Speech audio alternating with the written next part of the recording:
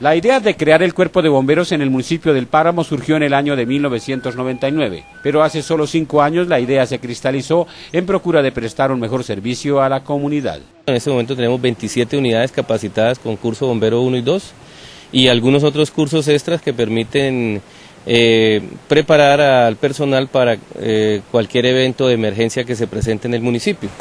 No obstante diversos problemas, la institución siempre permanece en atención. En los últimos seis meses atendimos alrededor de 60 eventos en todo el municipio, es decir, hay mucho trabajo a pesar de que es un pueblo muy pequeño. Eh, esto nos ha permitido pues eh, estar como al día en las atenciones de las emergencias y prestar un buen servicio a la comunidad. Hemos atendido unas emergencias de rescate tanto en las cascadas de Juan Curí como en la cueva y sobre todo en la parte de verano hemos atendido bastantes incendios forestales.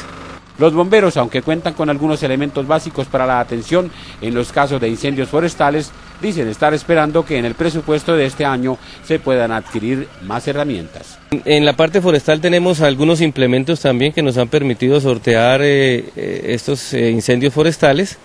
Em, pero en equipos para contraincendios eh, tenemos unos equipos de segunda ah, que hemos recibido unos en donación y hemos adquirido otros por compra, pero todavía nos falta bastante equipo porque realmente las situaciones que se están presentando eh, cada vez requieren mejores equipos y mejores dotados.